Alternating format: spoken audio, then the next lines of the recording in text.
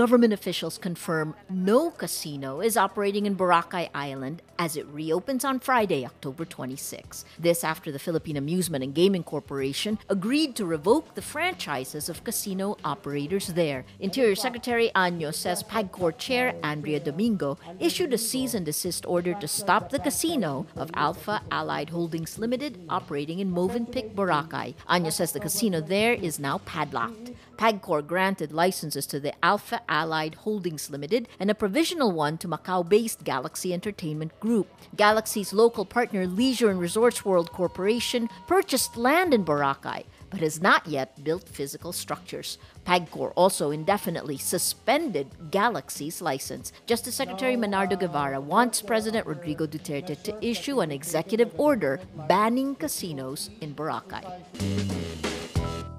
Opposition lawmakers slammed President Rodrigo Duterte for moving Customs Chief Isidro Lapeña to Director General of the Technical Education and Skills Development Authority, or TESDA. The lawmakers call it a promotion because TESDA position is a cabinet post. ACT Teachers Representative Antonio Tinio says the quote, recycling of Lapeña is meant to quote, insulate him from possible charges. ACT Teachers Representative France Castro, for her part, asks, what would an ex police general even do in an education related agency?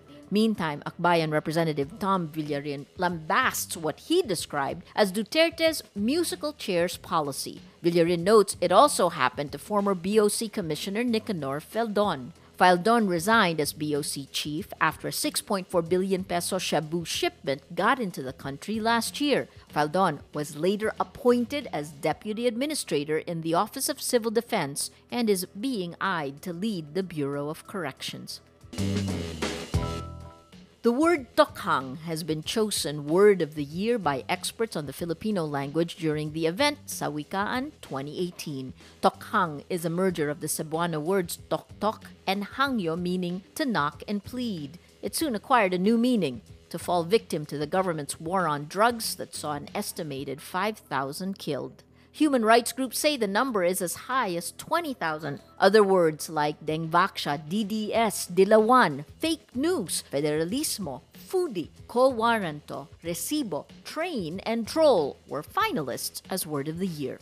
Words can be nominated if these are newly invented, newly adopted from an indigenous or foreign language, an old word given a new meaning, or a word no longer in use and newly resurrected. Sawikaan 2018 is a project of the Filipinas Institute of Translation along with the UP Diliman Office of the Chancellor, UP Diliman Information Office, and the Commission sa Wikang Filipino.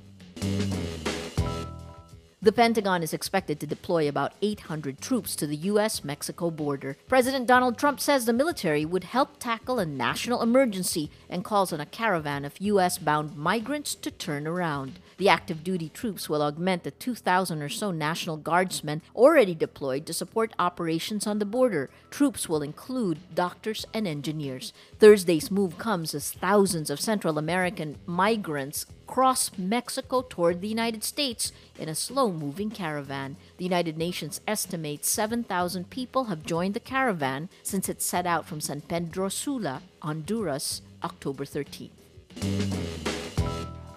Johnny Depp is not expected to appear in a possible reboot of the Pirates of the Caribbean franchise. The Daily Mail says in an exclusive report that the actor will no longer be playing Captain Jack Sparrow. One of the original writers of the movie, Stuart Beattie, confirms talk that Depp is out of the franchise. Depp himself said in early October that Disney thought of every way to get rid of me in Pirates because of the personal creative decisions he made in portraying Captain Jack Sparrow. Depp played the role of Sparrow in all five Pirates films from 2003 to 2017.